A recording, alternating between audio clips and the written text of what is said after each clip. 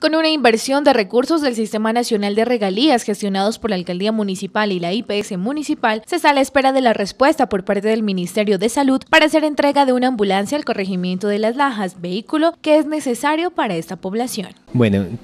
el día de ayer se entregó el último requisito que teníamos pendiente para la cofinanciación de la ambulancia para el Centro de Salud de las Lajas de la IPS Municipal de Ipiales, ya que anteriormente se había presentado el proyecto, el año pasado se radicó en el ministerio y estaba pendiente de la cofinanciación. El alcalde municipal nos apoyó con recursos de, de la alcaldía con 38 millones de pesos, los cuales entran a cofinanciar esto. Ya una vez entregado ese requisito, ya quedamos pendientes a la aprobación y a la entrega por parte de, del Ministerio de Salud y del Departamento de Emergencias del Ministerio de Salud. Afortunadamente se hizo la gestión y el personal del Ministerio está muy empoderado del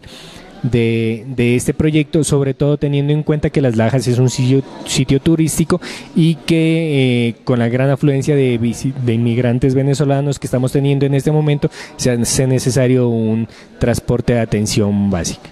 Con esta entrega se constituye un gran paso en la búsqueda de un mejor sistema de salud y condiciones dignas para esta población y de esa manera brindar una mejor atención ante cualquier eventualidad que se pueda presentar.